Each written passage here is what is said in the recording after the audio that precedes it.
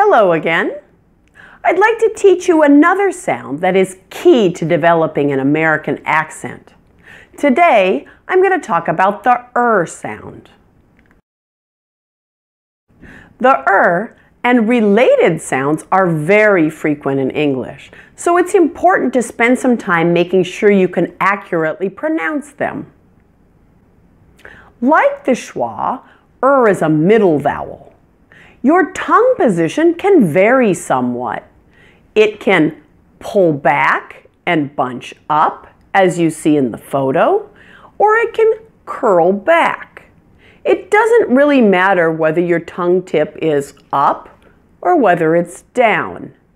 The most important thing about this sound is the tongue does not touch any part of the mouth or the teeth. It should not touch the roof of your mouth. The muscles are tense with this sound. You should feel your tongue and your mouth tense. And your mouth is open about midway. Your lips are loosely rounded. Let's go ahead and try the sound together. I'm going to give you a close-up of my mouth so you can see exactly what I'm doing. Er. Er. Er. Let's play with this a little bit. I want you to growl like a tiger. But before we do that, I want to make sure that your mouth is set up to correctly pronounce the er sound. So make sure that you open your mouth about midway. You round your lips. Your tongue is in the middle of your mouth. Pull it back. It should not be touching anything, right? And then we're going to feel tension. Like hold the muscle tight. Now let's go ahead and growl like a tiger. Er, er, er, er. Now that is the er sound. So whenever you can't remember it, remember growl like a tiger, and then that's going to help you make that sound correctly. Let's talk now about how to spell the er sound. Oftentimes in English, we can't always rely on spelling to determine sound.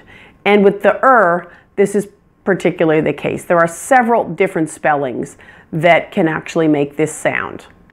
And here are a few of the more common ones. The ER spelling is probably the most common, as in words like her and were.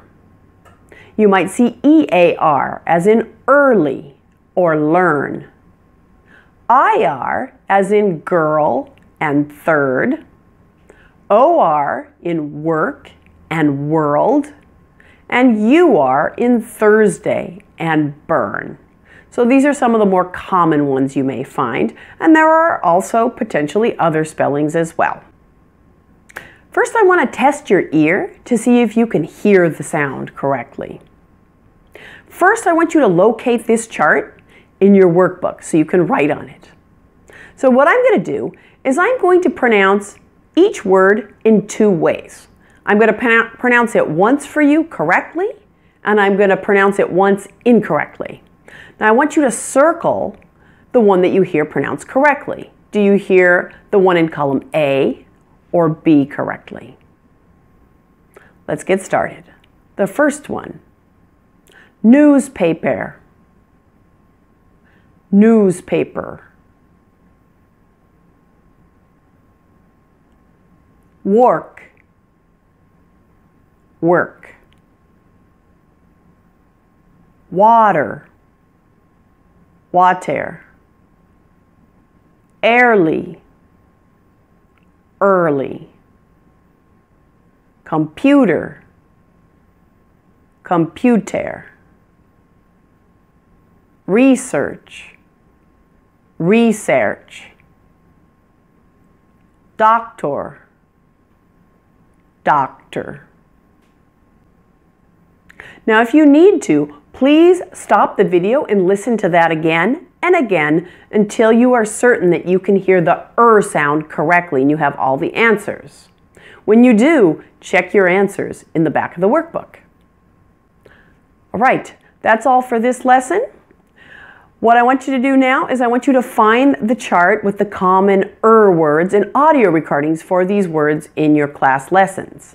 I encourage you to listen and repeat these common words to make their pronunciation a new habit. Thanks for watching.